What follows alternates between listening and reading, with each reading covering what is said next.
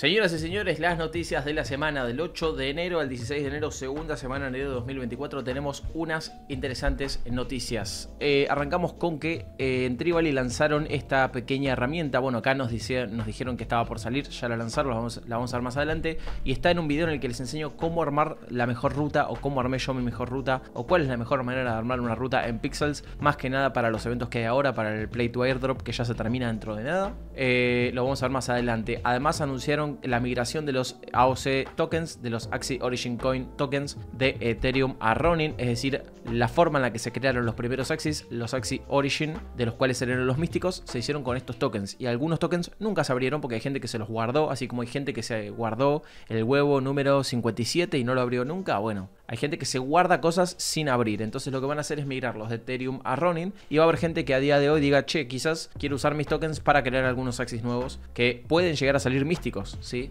Seguramente acá dice que sale el 22 de enero. Cuando salga la semana que viene veremos detalles al respecto. Bueno, también eh, metieron actualizaciones en Classic. Ahora hay Coliseo Premium con SLP. Eh, ahora se puede depositar a través del portal SLP hacia Classic. Salió el torneo número 2 y hay una hay un shop dentro del juego, ¿sí? Básicamente, bueno, yo la fase 1 del torneo ya la pasé, salí 7-3. Eh, se puede jugar Coliseo con oro y con SLP. Hay un shop para comprar estas cositas que se tiran automáticamente. Y bueno, eh, dentro de poco también ahora vamos a ver un poco más de leaks, ¿sí? Bueno, acá tenemos el Time Tracker, sí, que es lo que yo estoy usando para Pixels. De hecho, lo tengo ahora abierto acá en otra pestaña porque estoy haciendo mi rutita de Pixels para el Play to Airdrop que ya se termina en nada, el 19 a las 5 de la tarde, si no estoy mal. Si estoy mal, me corrigen en los comentarios. Después eh, hicieron una alianza con Presale, ¿sí? que es una plataforma de, de fundraising. ¿sí? Esto yo me lo leí cuando salió hace una semana, pero es muy interesante este hilo que nos comparte Psycho porque, nada, habla un poco de la relación entre los jugadores y los juegos y dice, che, si los propios jugadores, esto es un poco, digo, es mi interpretación porque lo leí hace una semana, pero lo que dice un poco es, ¿qué pasa si los jugadores no solamente son los jugadores o los creadores de contenido, no solamente son los creadores de contenido, sino que además es gente que está apostando y que realmente invirtió como si fuera un, un angel investor o un VC en el estudio o en el juego. O sea, si realmente estuviera parte de su inversión en juego como el capital con el que está trabajando la empresa. Es decir, todos esos jugadores buscarían dar el mejor feedback posible, compartirlo de la mejor manera posible, crear el mejor contenido posible. Es decir, existiría un nivel más comprometido de, bueno, un nivel más alto de compromiso en verdad de los jugadores o creadores de contenido o gente con el juego en sí. Entonces lo que permite esto es que la gente común, nosotros, o bueno, en verdad quizás gente con un poco más de poder adquisitivo, pero digo, no necesariamente las grandes fortunas sean las que inviertan en los lanzamientos de juegos, sino que además puedan conseguir fondos a través de la gente. Eso es un poco el resumen, si es un poco más largo que eso. Eh, pero bueno, este hilo me pareció más que interesante. Y, y bueno, creo que yo le tuiteé acá y le pregunté cuándo era que íbamos a verlo en acción. Bueno, no sé en dónde está. Pero bueno, muy interesante. Eh, después también en, Pixels, para quien no sepa, metieron una misión con un cartelito. Y yo en este hilo en Twitter dejo dónde están cada una de las piezas. Sí, todavía no se terminó, faltan dos piezas. Pero bueno, si lo quieren ver, lo tengo en Twitter. Reworkieron el Mavis Market, ahora se ve así, se ve bastante fachero. Cambiaron Sugar Rush, que es el Poki de, de Classic, porque ahora le pusieron Taunt, ¿sí? Y bueno, le aumentaron el daño y le sacaron, creo que Shield, y le pusieron una penalidad de ataque, ¿sí? Después se terminó ya el 13 de enero el evento del Mocaverse, ¿sí? Yo quedé fuera del top 100, del top 1000, mentira. Pero bueno, uno de, las, de los miembros de la comunidad que pasa seguido por el stream quedó dentro del top 10, así que se ganó una land. Después, eh, Newok reworkó todo el sistema de funcionamiento que tenía el sistema Premium, ¿sí? Dentro de, de, de, de Axi Plus y la herramienta de video. Le vamos a dedicar un, video entero a esto, sí, pero básicamente creó todo un sistema para que puedan utilizar, porque lo caro de lo que tenía, lo que ahora se llama Elite, que es el Premium, lo caro es que, valía 250 dólares al mes, es que tenía la herramienta de búsquedas, que eso es carísimo, porque te permite encontrar la mejor pareja al instante y eso tiene un... es invaluable. Bueno, separó eso del, del Elite ¿sí? no, lo, no lo incluyó en el premium porque eh, incluye todo, todas las otras cosas increíbles que tiene la herramienta y ya tiene un precio mucho más accesible que es de 30 dólares nada más. Para quien quiere bridear y no le interesa el buscador es increíble, pero no importa porque después vamos a revisar. Le vamos a dedicar un video entero a este cuando me ponga a bridear para, para Classics para, o para Origins, perdón. Eh, bueno, ya arrancó el torneo eh, número 2 de, de, Classic, que ya lo vimos antes. Bueno, acá un poco de lo que pasó esta semana también. Metieron el Coliseo Premium con SLP, los stickers, el torneo número 2 y reworkearon el sistema sistema de Chest en Classic. Ahora mismo los Axis se ven con una barrita acá arriba que te dice el nivel que tienen y el XP restante para su límite diario en este juego. Si ves que está en nivel 9 y no sube más es porque tenés que ascenderlos, es decir, no pueden recibir más XP. Pixels consiguió un pico de 170.000 usuarios activos al día, ¿sí? desde que no paran de crecer, desde que llegaron a Ronin, se mudaron acá y bueno, skyrocketearon en actividad. Después también lanzaron, eh, bueno, otro, otra alianza con Footprints Analytics, que es básicamente una página que analiza y te permite ver un montón de cosas, información en, en Ronin, de la información del token, de, lo que hace alguna, eh, alguna dirección en particular y mirar un montón de cosas que van pasando. O sea, yo la verdad no lo vi todavía, pero bueno, es una página de estadísticas de Ronin que ahora tiene soporte en Ronin. Y también creo que las, las APIs, o sea, hay páginas que le pueden pedir data entonces es más, más rápido y más fácil. Eh, metieron balance para Origins antes de que arranque la season y hubo dos balances. Hubo este que cambiaron Shade Exchange, eh, le bajaron el healing de 5 a 4 y el daño de 5 a 3 estaba rotarda, arreglaron algunos bugs y después también cambiaron eh, Bubbles, le bajaron de 32 a 30 el daño y de 2% a 1,5 de vida máxima. ¿Será suficiente? No lo sé, lo veremos.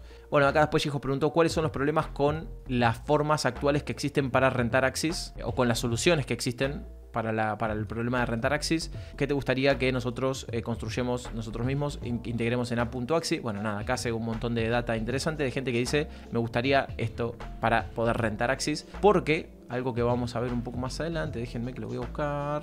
Acá, ya se pueden delegar eh, ah, mentira, este es un sneak peek de cómo se va a ver la delegación de Lance en el market. Entonces, básicamente dice: podés poner uno o dos plots o los que vos quieras. Para, vas a crear como una aplicación y vas a customizar la cantidad de tiempo que va a durar, cómo vas a splitar las recompensas con quien decide agarrar el alquiler de las lands, cómo vas a dividir las recompensas, cuánto tiempo vas a dejar como la oferta activa, porque es una oferta que vas a meter en el market. Y vas a definir acá, bueno, vas a poder terminarlo antes de tiempo y como que creas un contrato a través del marketplace para poder prestar las lands. Eh, si sucede algo así con equipos, sería increíble. Imagínense que vos te metas al marketplace, puedas ver un equipo entero de Origins, quizás con runas y amuletos, que te lo alquilen. Y que, vos ahí veas cuántas recompensas, cómo se ven las recompensas, qué sé yo, bla, bla, bla. Bueno, me parece increíble este sistema, pero bueno, eh, esto es lo que hay por ahora. Además, cambiaron la forma en la que funciona el XP en Origins, ¿sí? Entonces, antes solo se podía farmear estamina con, perdón, XP con estamina en victorias. Y eso era un pijazo, porque te obligaba a que si vos eras muy, estabas muy alto en Challenger, tenías que bajar sin energía para suerte energía y ganar las 30, porque si no, no llegabas al cap. Es decir, el sistema estaba mal hecho. Ahora lo reworkearon, en mi opinión, sigue con algunas cosas mal hechas, pero está mucho mejor que antes. ¿sí? Entonces, ahora vas a ganar eh, XP cuando ganes, cuando empates y cuando pierdas con estamina, ¿sí? Mucho menos cuando pierdas, que ahora vamos a revisar esto. Con estamina está bien, está bien, porque si no al principio vas a tener 13 de estamina nada más. Entonces, que vos vayas, digo, si alguien quiere perder a propósito para ir farmeando a 20, bueno, digo, no va a farmear una mierda al día, nada, cero, muy poco. Pero, ¿qué es lo que pasa? Si se puede, como acá verán, dice sin estamina, a partir de Boar, vos podés ganar perdiendo. Y esto es farmeo infinitos de granjas de bots. Es decir, es un bot que va a estar 24-7 jugando y perdiendo, jugando y perdiendo, jugando y perdiendo. Entonces, esto que está acá, que se pueda ganar XP perdiendo sin estamina, está mal, desde mi punto de vista, en estos rangos. Boar, Wolf, Bear y hasta te diría que Tiger también. Es decir, Dragón, ni en pedo un bot va a llegar a Dragón en ninguna parte de la temporada. Entonces vos puedes poner en Dragón que pierda, que cuando pierde gana un poquito de XP. Bueno, está bien, no pasa nada. Tipo 40, 20, 30, es poco. Pero si no, los bots no van a parar de farmear acá. Y bueno, claramente los matches que se, que se surrendean tienen que cumplir cierta cantidad de eh, requisitos para poder funcionar. Además, ahora cambia la fórmula de capeo máximo. Es 1500 por el nivel de tu Axi. Es decir, a nivel 1, 1500 límite para farmear. A nivel 2, 3000. A nivel 3, 4500. Y así. Entonces, a nivel 10 vas a tener hasta un máximo de 15.000 al día. Básicamente esto lo que significa es que a medida que vas subiendo, se va aumentando tu capacidad de farmeo diario y esto, o sea, Origins es ahora la máquina definitiva de farmear XP. Puedes subir de nivel 1 a 10 en un solo día jugando todo el día Origins, literalmente. No sé cuánto tiempo es, creo que no es mucho, pero no importa. Antes tenías que dividir en tres juegos, jugar un poco todos los días. Ahora esto es, literalmente es una máquina de farmeo en la que, digo, a partir de nivel 30, 40, 50, ni ni te van a dar las horas del día para farmear el límite máximo que te da Origins, o sea, es muy grande. Eh, pero bueno, esto está bueno porque nos va a permitir a todos poder leviar nuestros access a nivel 10 o a 20 mucho más rápido para poder estar en igualdad de, condiciones. Después ya a nivel 30 y 40, digo, eso es para quien farmee mucho, ¿no? Después que, bueno, acá Rifle armó un Excel, pero después me dijo, che, está mal porque, bueno. Estaban haciendo la comparativa de cuántos días eh, tardaban y bueno, básicamente como que en 21 días si vos farmeas lo máximo máximo ya podés llegar a nivel 30, pero después me dijo que es incluso más rápido que esto, bueno, este Excel está mal, pero lo que quiero decir es es mucho más rápido que antes, muchísimo más rápido que antes, absurdamente más rápido que antes. Después lo revisaremos. Bueno, después acá pusieron Working on, Something, que dice una nueva aventura espera. Si sos un holder de alguna de las siguientes colecciones, vas a poder ser elegible para claimear el gift de Axie. Yo creo que van a hacer que los que tengan una land en Pixels, una, una cosa en Apeiron, lo que sea, puedan claimear un Axie para empezar a jugar Axie. Eso es lo que yo me imagino. Pero bueno, Después tenemos el recap de Sky Mavis, que es lo, todo lo que ya vimos. Eh, abrieron el Mavis Store,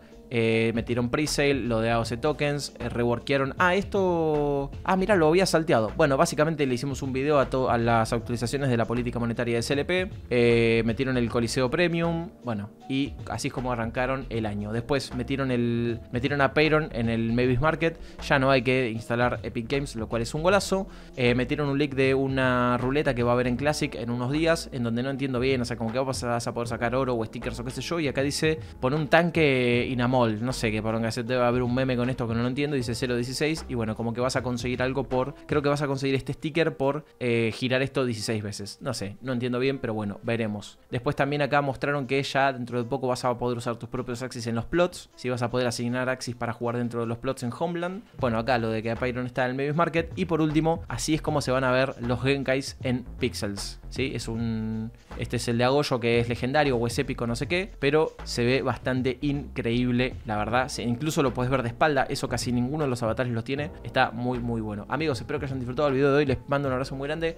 Nos vemos la semana que viene con las noticias de la semana. Código rojo en el marketplace si tienen ganas de apoyarme. Y nos vemos en la próxima. Adiós.